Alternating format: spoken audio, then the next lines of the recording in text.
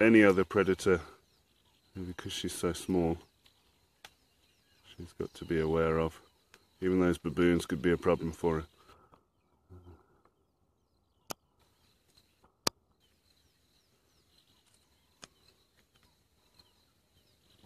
We start at the rump where it's nice and soft and then Oh, look there, you can see his eyes.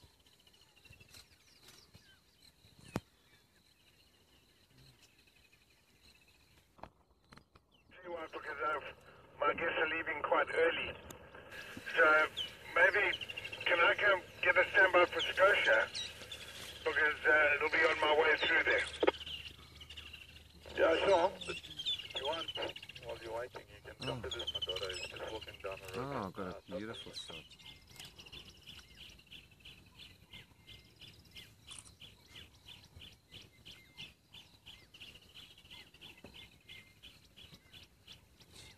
Look at that. It is so beautiful. Catching with my first English, coming. Stand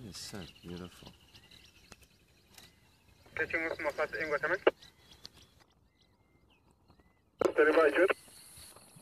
Follow.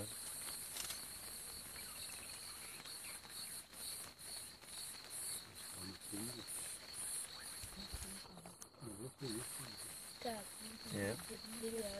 Yeah, I'm videoing it. And him crunching the bones.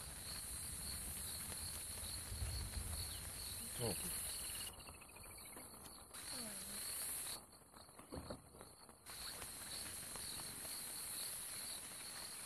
So this isn't any of the two that we've seen, right? no. This is the same one we saw this morning, the youngster. Oh yeah. This morning feels like yesterday. I can't believe that no one else has got hold of this thing yet.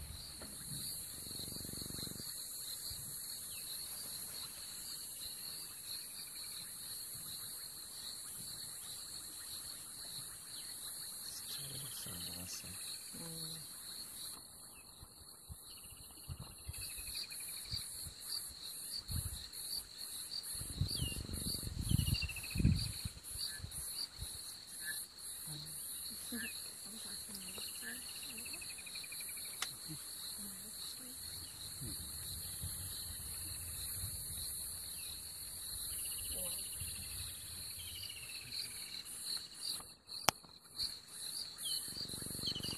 Now what she's she's just cutting through the skin so she can get to the meat more easily.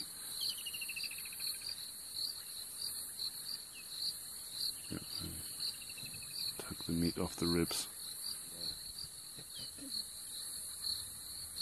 Leopards are much more leisurely feeders.